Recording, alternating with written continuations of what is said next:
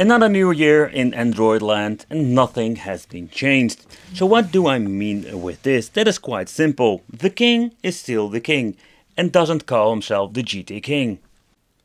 Hey hey, it's awesome that you're tuning in, because in this video we are going to talk about the Shield or the Nvidia Shield Pro Edition. There's also a normal version, I don't own it, but I just want to focus this video of the Pro, the best one you can get when it comes to Android boxes. There is a Pro version and there is also an old Pro version. Yeah, it's all quite, quite confusing, but in this video also will explain you what are the differences between two of them. The Nvidia Shield Pro. So this is basically like the deluxe first edition. This was back in the day, they basically like also sold it with the Nvidia Shield controller. With the new version, they don't do that anymore. You can buy it separately and nowadays I like pretty damn rare to find what I understand of. It also came with the old remote. The Nvidia Shield came with a 500GB hard disk built in. So this Pro version is kind of more of a novelty nowadays. Application-wise, the Nvidia Shield is the Tegra X1 processor. It's a very interesting processor because it's still capable of running a lot of emulators and of course a lot of Android games. 256 core Nvidia graphics, 64-bit CPU, 3GB of RAM and 500GB of storage already mentioned before and we can even use an expansion through the USB port. Android TV with Google Cast. This thing has a capable of running 4K, 1080p and 720p. It has the HDMI 2.0b with the HDCP 2.2 plus HDR functionality. But this older Nvidia Shield Pro, is it worth picking up because it's quite expensive if you're going to look around. Maybe you can pick it up for cheap, maybe from a thrift shop. You will be lucky because in general, this is like a collector edition nowadays. Yeah, and people pay a lot of money for it, including myself, because I just wanted to review it here on the channel. But let's take a close look at the Nvidia Shield itself. The first thing I'm noticing is like this thing is heavy and gigantic. Unfortunate, the scratches on here are inevitable, but they have like a, a lot of them and they are very, let's say, very thorough to the paint job itself. So I'm hoping I can polish it up and clean it in the future, but for now, this is what we're going to get. I'm also wondering what people do with these things. So at the back we do have like the similar ports like the previous ones I've reviewed. Here we're going to get the power supply input, HDMI, we're going to get the Ethernet, two USB ports, micro USB and of course the option to expand your internal memory with a micro SD card. But when you're looking at the Nvidia Shield, it's capable of running a lot of Android games on higher resolutions. I have seen myself a lot of say Chinese AliExpress boxes, but most of them will have some limitation, for example with the Asphalt games. But with the Nvidia Shield, also the older models with the old school Tegra X1 chip, they are capable of running a lot of games on high resolution and also great FPSs to have a cool and good Android gaming experience. So let's start off with some Sega Dreamcast in combination with the ReDream emulator and we can run it on higher resolutions with the Nvidia Shield. Even the older models are having enough power to run these games perfectly.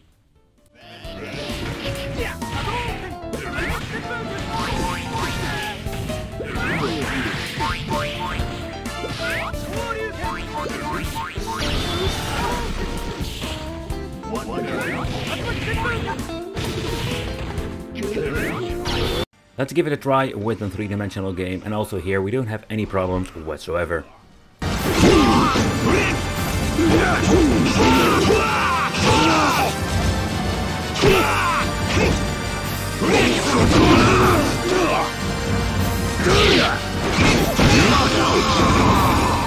For the people who wanted to play some GameCube, unfortunate it is not running perfectly. Even with some Crash Bandicoot you can see it not even hitting the 30 FPS getting into freaking title screen. Trying to get yourself the MMJR, the special modified GameCube version, tinker a lot with it and there are a couple of games that will work eventually. But if you take in consideration that the latest, let's say Nvidia Shield Pro with the Tegra X1 chip also had problems with GameCube, you can expect that the older version doesn't like run it at all or at least having less performance than the newer model. So let's move on to the PlayStation. We do have the option to upscale it to 2 times resolution with some emulators. I'm using here the ePSXe emulator. Personally a big fan of it. Also the DuckStation is a little bit better than this version when it comes to emulators.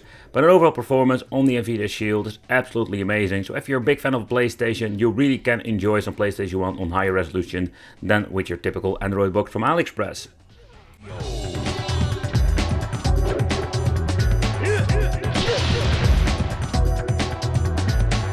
You win.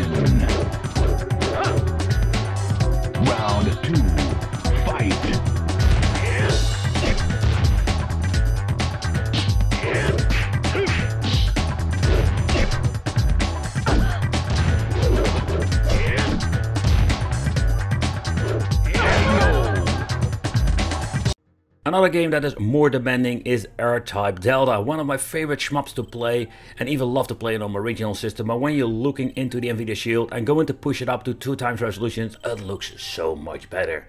And I kind of really enjoy it playing this game on some emulation in combination with higher resolutions.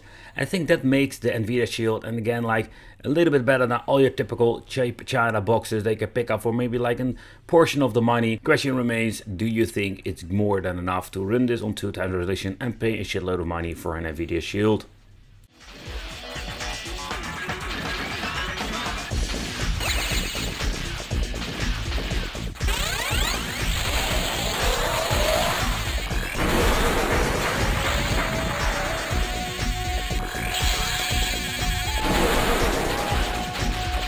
Next up, let's try some PlayStation Portable with PPSSPP. And here you can see like you need to go into the settings and tinker a lot with it. To begin with, frame skipping one needs to be on with God of War. So let's load up the quick save I've made so we, we can finally skip that bloody freaking intro. But with the Nvidia Shield, we do see some hiccups to the 25 FPS sometimes, but on overall with frame skip it's a really cool performance. And this is just a limitation of the Nvidia Shield, the old but also the new version you're just going to get yourself an okay performance.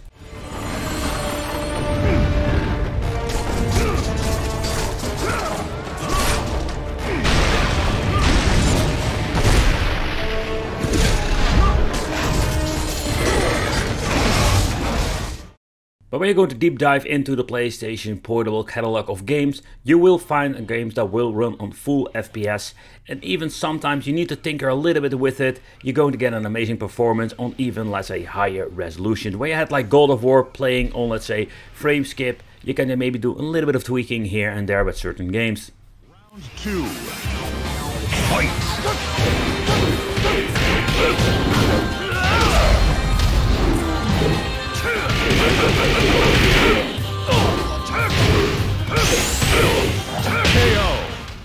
With Sega Saturn and the Yaba Zero emulator, you're going to get an overall okay performance. I did put it on original resolution and entered some frame skip here and there, because some games do struggle, depending of course of the emulator updates.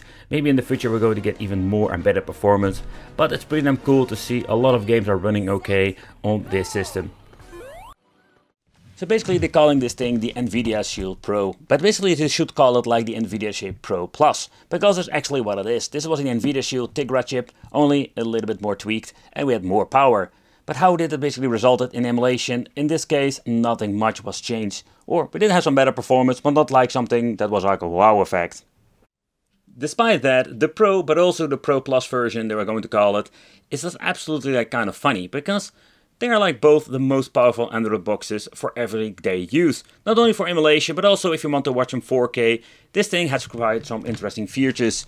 The new version did came with some extra like software tweaks, so especially when it comes to 4K HDR Android TV, but I would not be surprised something like that would come to the older model of the Android box, or just having like the normal version.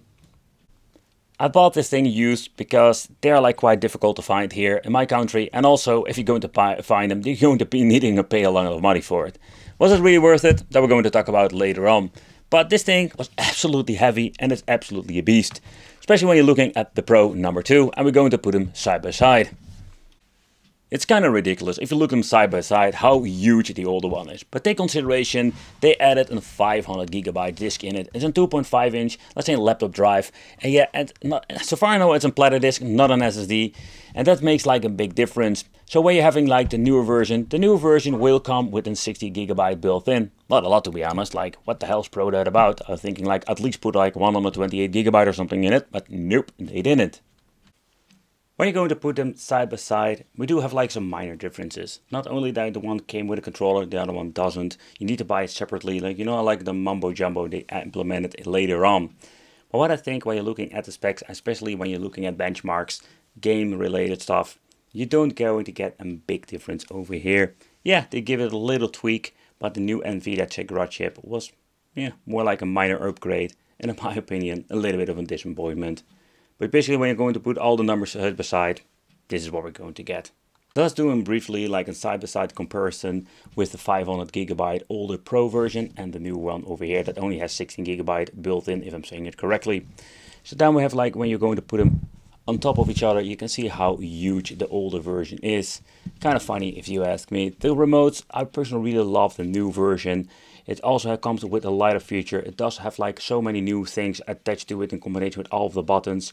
You still have like the selector over here and the touch is also improved and what I already mentioned like I don't like the flat model it does have like a very nice feeling because of the metal plate at the back and this thing is more plastic fantastic but besides that point I really love it how it looks just the options the way you can basically like navigate through quickly to Netflix the things that it absolutely improved when you're looking at the remotes Nvidia Shield did an amazing job I'm hope, hoping they will release a new one or better said what they're going to improve in the future what I found a little bit of disappointment is when you're looking at both models, you can see like there are not a lot of big differences.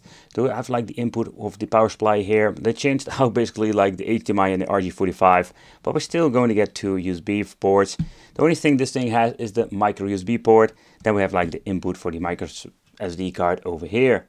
That's like a little bit of a bummer. I wish that like added like more USB port to this freaking thing. That I was a little bit disappointed buying the Pro. And the reason why is that they didn't come with a freaking controller because I really love the gaming feature of the Nvidia Shield. So one of the things they implemented with this new version is that we do get a different remote.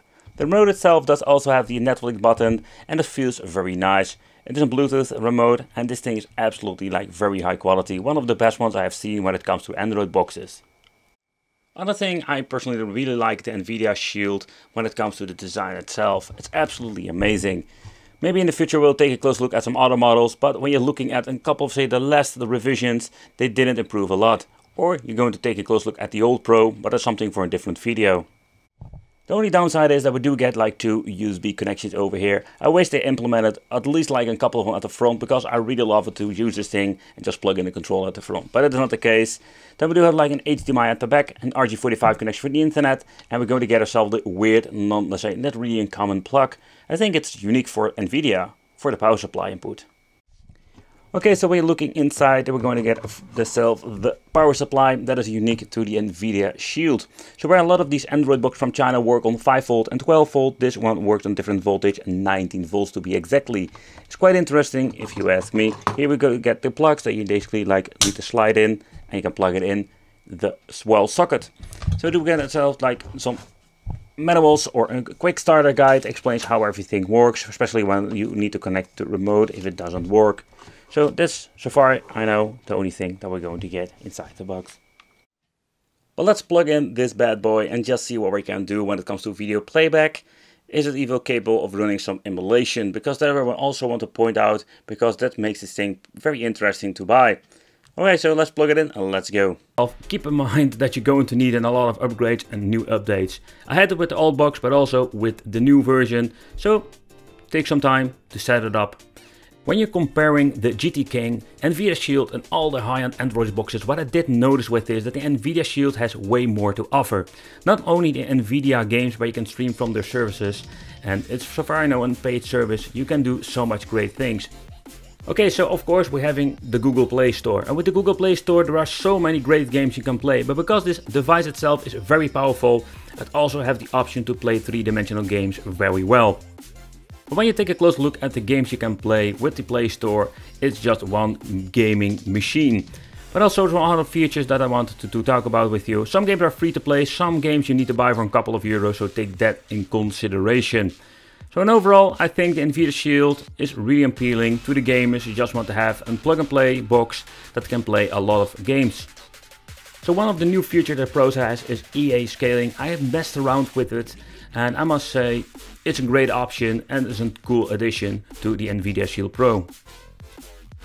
So when you're looking at retro emulation, support of the emulators is just massive compared with the Chinese. The Chinese had more like different Android versions that we still struggle with installing some of these emulators. But nevertheless, we're also going to do a separate review about it, but also we're going to test it out, some retro games here in this video. But if you just want to use the device like a YouTube machine, want to watch 4K on your television, I think the Nvidia Shield is an amazing piece of hardware. Compared with the other Android boxes I've checked out, most of them are running it very well 4K native resolution, but some are struggling a little bit here and there. But an Nvidia Shield doesn't have any issue when it comes to 4K streaming from YouTube.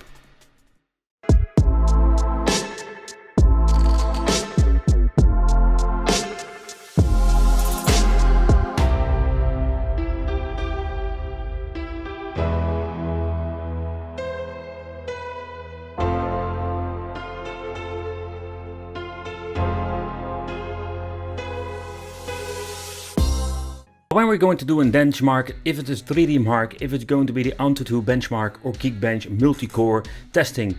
What I did notice when you're comparing the Nvidia Shield TV Pro against other boxes like the Beelink GT King Pro. You can see with the scores that with some things like the Antutu benchmark, it's going to get a gigantic difference. But with the Geekbench multi-core, you can see it's going to get a really close match. And that is the difference what we're going to get with Nvidia Shield. You pay maybe sometimes double the price comparable with, depends of course where you buy the Beelink. But you have so many new features when it comes to the Nvidia Shield TV Pro. And I think this thing is just worth it when you're comparing it to the Chinese boxes.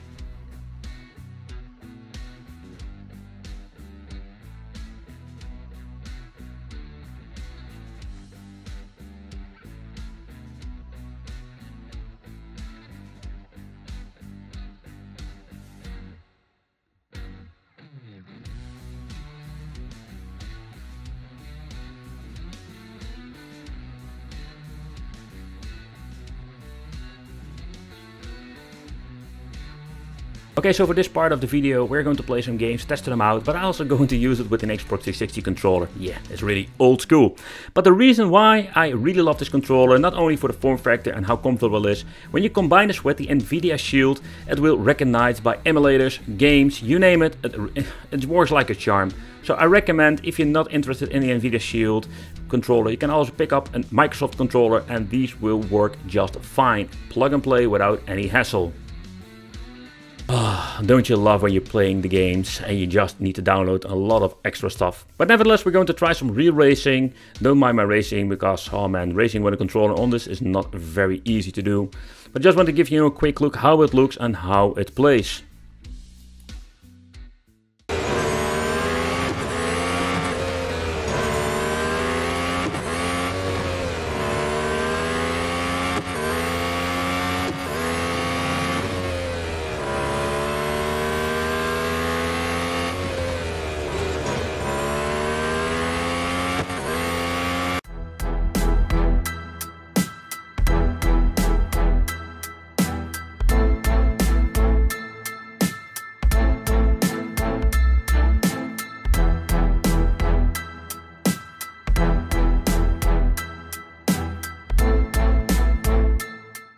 Alright, so in the next part let's try some emulating and let's see how games are running. Keep in mind I will do an extended testing on the, the Nvidia Shield Pro, but for now let's play some ReDream.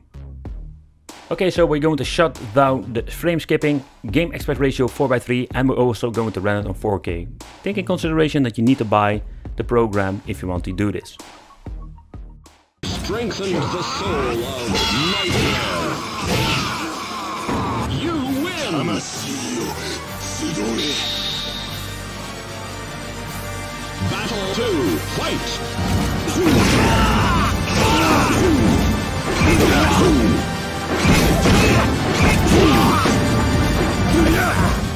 But you can see that the games runs perfectly on 60 FPS locked without frame skipping on the Nvidia Shield Pro. And I can tell you, the GT King does struggle a little bit. Okay, so with the PPSSPP emulator, it runs very nice with Tekken 6 and God of War will struggle, but in the end, when you're doing a little bit of modification with God of War, it will run fine on the system itself, because God of War will still be more like the game that's very hard to emulate. And in combination with Nvidia Shield Pro, you can play a lot of great games on 60 FPS in combination with 2x resolution. So I think the Nvidia Shield Pro is a very cool device, and you can see what a lot of these Chinese boxes are struggling, PSP is running very well on the Nvidia Shield Pro.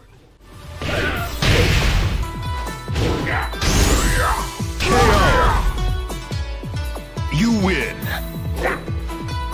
Round two. Fight.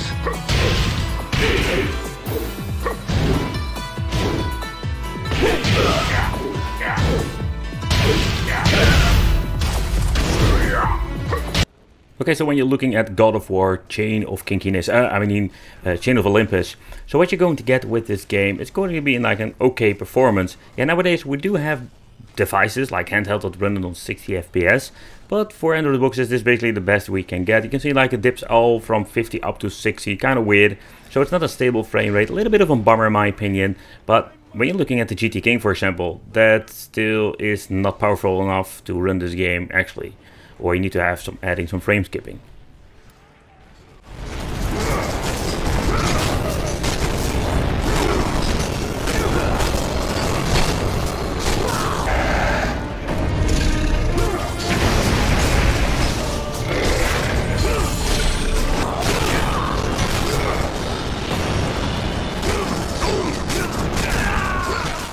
So let's talk about the remotes, because there also we're going to get a small difference. So here I have the old remote, and the old remote is made like out of plastic and metal materials. At the back we're going to get us like a very nice metal, and gives like a very, let's say, very nice look to it, but also it's kind of cold. But the new version has so much more features. It also came with the Netflix button and other features what you can see over here. Navigating, both of them, like I think the new one is absolutely more comfortable due of the shape because of the square shape or yeah it's absolutely great. Like you know like it feels so much more comfortable. The button itself is more comfortable. I think it's even like a little bit smaller now. So they did some changes over there. This thing is just functional as is. You can go back voice control stuff like that. But personal the new one is absolutely so much better. It's fully made out of plastic fantastic. But again the way how it feels the way of the options oh yeah that is absolutely a big improvement. But performance wise when you're looking at them it's absolutely like not a big of a deal. And overall, like of course we're having a little bit more power, so we do have like a little bit better performance when it comes to emulation, and the new version has some new features. So uh, for me, it was a little bit of a bummer back in the day, but it's still the king. So which one should you pick up? Both will have like the pros and the cons. And that's just a little bit of a bummer in my opinion. But beside that, yeah, it's also like where you can buy it. If you need to buy them both, brand new or better said like complete in box, like I think this thing is almost the same price like new ones. So sometimes it doesn't make even like no sense at all to buy an old one. And the old one does have like a platter disc in the inside. But thank you for watching. Consider subscribing, hit the little bell, become a Nuket family. And it would be great to see you in the next video.